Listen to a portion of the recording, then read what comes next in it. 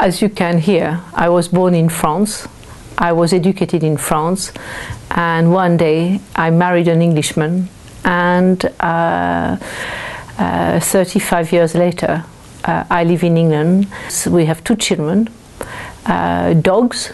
Our children are grown up, and uh, I live in the most beautiful part of England. I live in Northamptonshire in a small village called Arthingworth. I have been a councillor in Daventry for now uh, six years. I sit on the planning committee.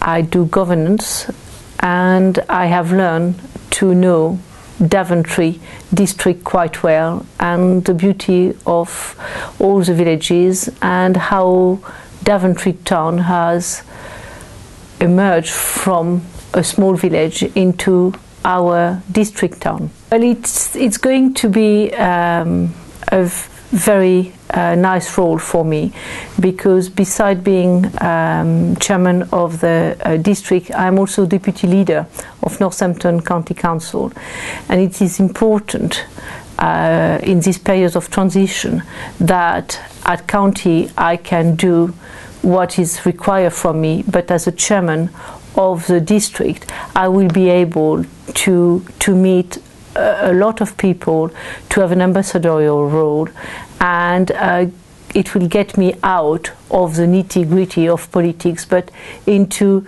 meeting people, and uh, they will tell me what they like about living in Daventry district. Um, the two charity that I will be supporting this year as my year as chairman of Daventry District Council are NGS, the National Garden Scheme, and Rethink, which is uh, a charity uh, in Daventry. It's called Go Green or Green Think.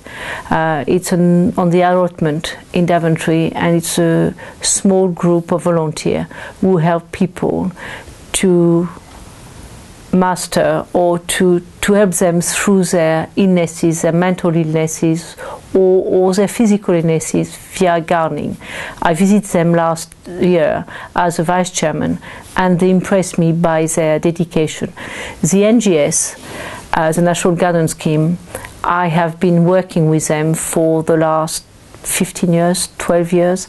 Uh, every year we open our garden for the NGS. To have the support of the, the chairman of the council is always a wonderful thing. The National Garden Scheme here in Northamptonshire we have about 122 gardens that uh, open for us. On a national basis, we've got 3,700 gardens that open, where people pay to go through the gate, perhaps buy a cup of tea on a piece of cake. Donations go to caring charities, and we don- this year we donated 3.1 million. I enjoy gardening; it's one of my passion. You garden, it's a bit selfish because it's just for you. But suddenly, with the NGS, you open your garden and you have 100, 150, sometimes 200, depending on the weather, people who come and share the garden with you. Uh, it is an amazing charity.